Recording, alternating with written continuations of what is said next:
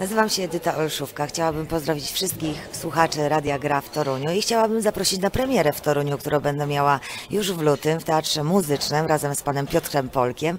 Spektakl zatytułowany Akompaniator, więc zapraszam na akompaniatora do Torunia, do Teatru Muzycznego. Czekamy na Was. Do zobaczenia.